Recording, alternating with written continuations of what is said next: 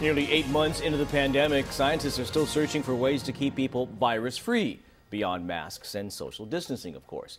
One of those ideas is germ killing light bulbs. The technology has been used for decades, but can it protect against COVID 19? CBS 13's Anna Giles is getting answers. As coronavirus surges across the country, many are seeking out an extra layer of protection that can be used in their daily routine.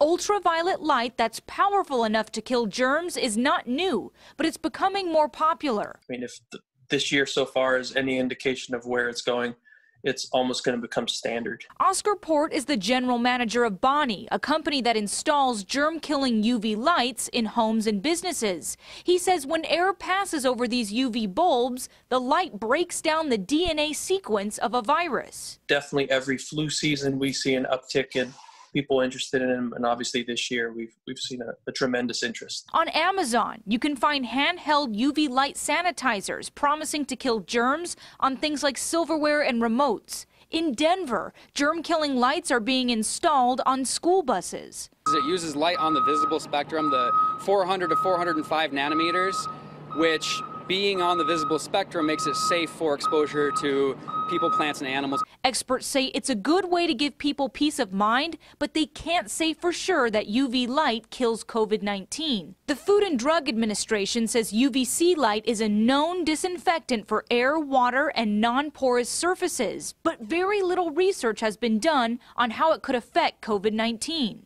I'd really approach it as another layer of protection, the same way how social distancing is a layer of protection, masks are a layer um, and everything that we do. It's another option at a time when household disinfectants are hard to come by.